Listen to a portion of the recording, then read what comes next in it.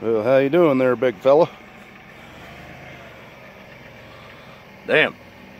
He's a big guy, ain't I'll tell you what, that's a Koopa kid right there. Easy now. Oh, he can't come at you. Oh, I know. He's just shifting around though. Yeah, well, I'm, I'm letting him know he's, I'm a friendly. yeah. Yep. I'm just trying to exploit you for my uh, YouTube channel. Oh, yep.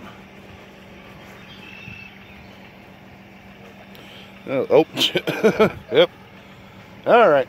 That was enough for me. Well, like said, he still can't go very far. Well, I don't care because Yeah. I don't want him to get any ideas. All right.